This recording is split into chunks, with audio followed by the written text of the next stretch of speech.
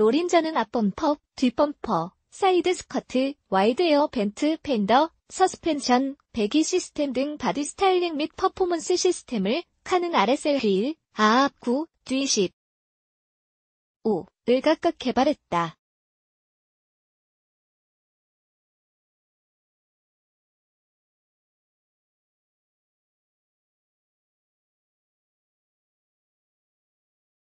로린저는 독일의 메르세데스 벤츠 mega dealer 및 전문 튜너이고 카는 휠로 유명한 영국의 튜닝 업체다.